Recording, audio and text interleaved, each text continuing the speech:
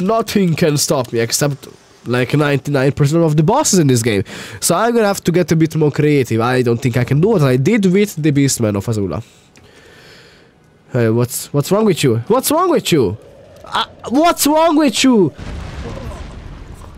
Oh no no no no no no! I am good, thank you very much. I actually. Oh my god, you're fast.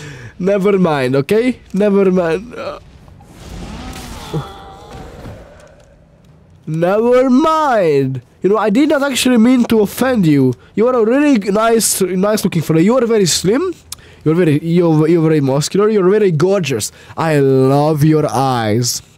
Did anyone tell you how look, how good you are? Okay. What the freak? Freaker freak.